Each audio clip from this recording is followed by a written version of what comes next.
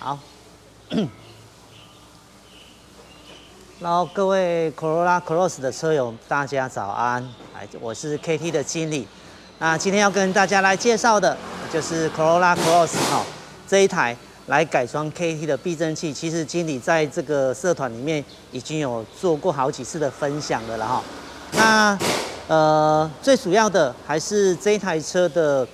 呃整个行车的乘坐的感觉哈。做的太过于舒适了，虽然底盘已经算是 TNGA 的版本了哈，后方的话算是一个 TNGA 的，呃比较比较一般版的，算是拖曳臂的系统。但这个系统啊，它有一个优点，也有一个缺点。优点就是它的结构很简单，万一日后了哈，桶身坏掉之类的，呃要维修的话，相当的呃相当的便宜。那缺点的话。就是它的乘坐感觉哈，因为左边跟右边呢会一起会移动，呃，会会做动嘛，所以它的非独立系统的悬吊系统就会显得有一点呃，在开山路的时候没有那么的，那么像欧系车那么的呃，那么的贴地的哈，会比较摇晃一点点，所以应该很多的车友是不是家人乘坐在后座的时候会反映说这台车乘坐的感觉啊？会比较晃，或者是说有的人呃比较容易会晕车的，坐这台车就会比较容易会晕车哈。那它的改善的地方有两个了。第一个，毕竟啊这台车款是修理车，所以它的重心比较高哦，所以如果适时的把车高降低的话，的确会改善。那第二个步骤就是它原厂的轮胎铝圈的扁平比比较厚一点点。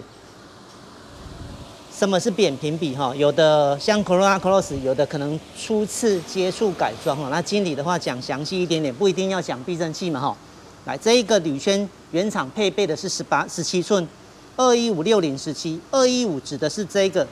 胎面的宽度，单位是 mm，六零指的是二一五宽度的比例，就是这里的厚度。好，十七寸指的是这个铝圈的它的直径，所以六零的这个扁平比啊是比较厚的。那如果哦换成十八寸之后，这个扁平比可能会变成五零，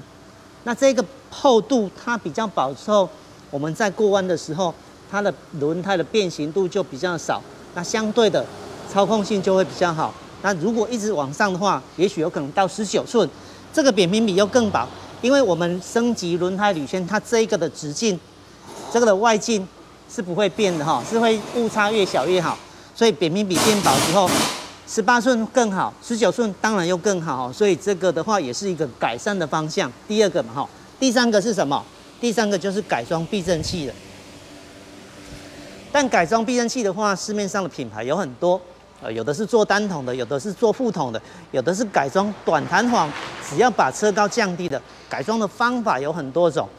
如果到我们 KT Racing 的粉丝团里面哈，像昨天的话。有介绍一台 Camry 的八代，那一台也是 TNGA 的底盘，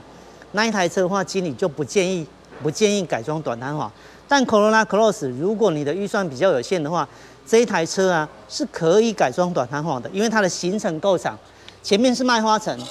我们浪费掉三公分的行程也没有关系。后方的话是拖曳臂系统，它的行程这么长，它的行程这么长，你浪费掉个两公分，车高降低下来。也都还行哦，有的车是可以的，有的车是不行的哈。所以如果只要降低车高的话，可以哦，也可以做改装短弹簧。可是改短弹簧的话，通常是一个比较初级的改装啦。一般来说，改短弹簧没久没多久之后，都还是会再多花一笔钱，呃，改装成套装的。所以有很多的车友在询问的时候。比较有经验的车友都会跟车主分享说，那倒不如一次就直接上可调式的，因为可调式的避震器啊，高低也能调整，呃，软硬度的话也能调整，所以它的功能性比较丰富一点点。至于 KT 的话，它的整个单价的话，其实也还蛮合理的哈。所以如果在比较的时候啊，不妨多试乘看看，那多比较看看，才能选择到适合自己的避震器。那这一台车在避震器的选择哈。经理的话建议有两个重点，第一个，后方它避震器这个行程是多长的？第二个，这一条弹簧的设计是如何？如果这一台车呃要做的比较偏向竞技化，哦，要专专门只要跑山路之类的，那可以后方配置直卷的弹簧。可是如果直卷弹簧的话，要承载家人的话，相信后面的乘乘客就是一个没有不太有办法接受的一个呃改装品哦。所以后方弹簧的磅数、后方弹簧的形式非常的重要。KT 的话，后方的弹簧是配置了两百呃。三点八公斤，而且是一个大一个灯笼状，它的圈径呢比较大一点点，所以它的舒适度会有办法兼顾到哈。我们先来看一下 KT 后方的弹簧是怎么配置的。这个长度啊是两百三十 mm，公斤数的话是三点八公斤。它的外径啊，这个外径的话比较胖一点点，所以它的乘坐起来的舒适度会比较好。那它弹簧跟弹簧之间的线距。也因为啊，它的外径变大，才有办法拉得比较开。如果是直卷弹簧的话，这个弹簧跟弹簧之间的距离啊，就拉得比较近，所以它的行程比较少，它做动的范围比较少。那相对的就比较能够做成竞技的设定，舒适的话可能就比较兼顾不到了哈。所以 KT 这条弹簧算是这一台车啊最大最大的重点。至于前面的弹簧也好，前面的阻尼也好，也许啊。没有设定到那么精准的话，也还 OK，也还有个八十分、七十分。可是后方的弹簧一旦设定不正确的话，这一台车啊就不好做了哈。所以，如果车友们在选择 Corolla Cross 的避震器的话，请车友啊留意一下后方弹簧的设定。如果是直卷弹簧，经理建议啊，呃，先做看看车友的，觉得啊能接受，再来考虑那个品牌。那如果是 KT 的话，我们这个设定的话，就会舒适许多哈。那也欢迎车友啦，多多体验看看车友们的车，因为有很多的 Corolla Cross 的车友有捧场 KT 的避震器，可以去试乘看看车友们乘坐起来的感觉，这样做一个比较，应该会比较客观一点点。那如果经理在直播的时候，Corolla Cross 的车友啊有问题的话，欢迎立刻在线上询问，经理会请小编把镜头带到大家想要看的地方。好，好，这个是后方拖曳臂的系统。它的行程，它的避震器啊，这一代的话，它没有做一个像是诶，好像大压好了，Yaris 的话，它的避震器摆臂位置在这里，所以它的摆臂位置是做一个斜角。斜角的话，它的用意是让它的回馈感会稍微比较直接一点点。可是这个设计是好的，但是它原厂的阻尼哈，哦，我们有把当去年呃在开发这一台车的时候，我有把这个阻尼原厂的筒身啊。那一台车才开了不到两百公里，我把这个筒身拿来到我们现场里面的阻尼测试机台去测试，它的一个阻尼子呢，非常非常的的舒适哈，很软，所以就变成后座的乘客会觉得比较晃动，就是因为后方的筒身设计，它的弹簧设计起来是可以的，可是它的筒身太过于舒适了，也不是说所有的拖曳臂系统啊，都会都会没有办法兼顾操控。呃，如果对轰达的车系哈有一些了解的话，像是轰达之前有一些性能车款，好像是呃 Type R 前一代的 FN2，它后方也是拖曳臂，可是它能造就出来的的一个呃操控感就相当的不错。或者是欧系车的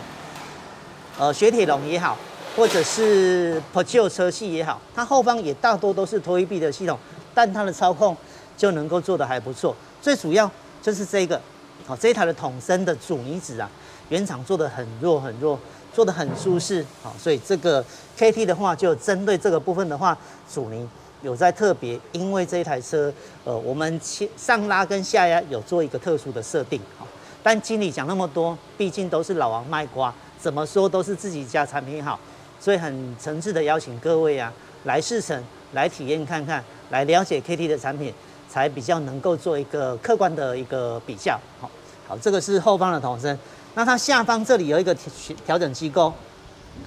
这里拍得到吗？可以。好，在这里哈，Corolla Cross 的话，K D 是设计在下方，这里是调整软硬度的，这个地方是在调整车高的。哦，调整车高的话，从这个调整机构来做调整。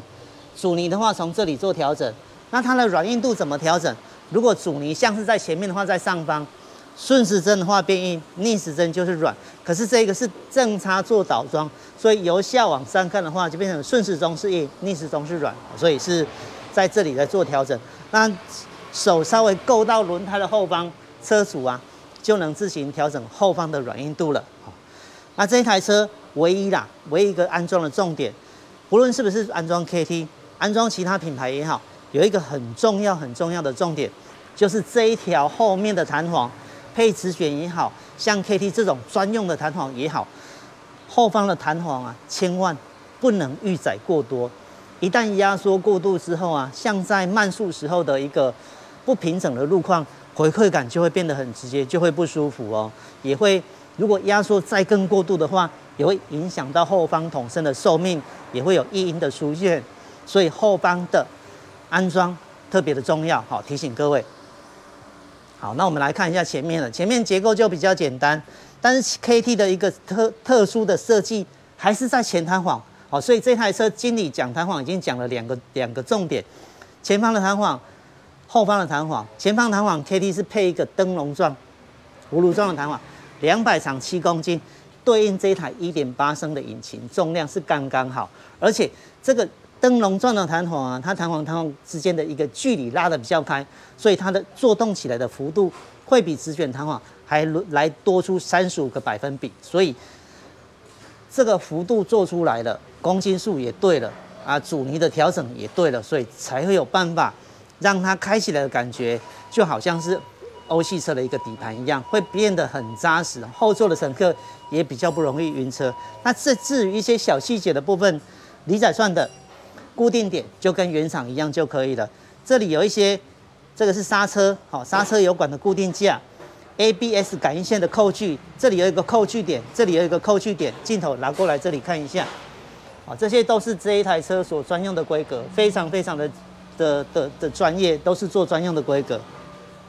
前面的车高调整比较简单，如这个是麦花臣的悬吊嘛，哈，如果我们把筒身的长度拉长。它的车高就变高，如果缩短，车高就变低哈，所以前面的调整比较简单。那前面的软硬度的话，就是从避震器的上部来做调整。KT 的用料也都相当不错哈，这个是日系车，不知道有没有车友知道日本最大的改装避震器的品牌是一个绿色的涂装，我是叫 TIN T E I N。那 TIN 的话，它所使用的油封啊，就是使用日本最大的 N O K 油油封。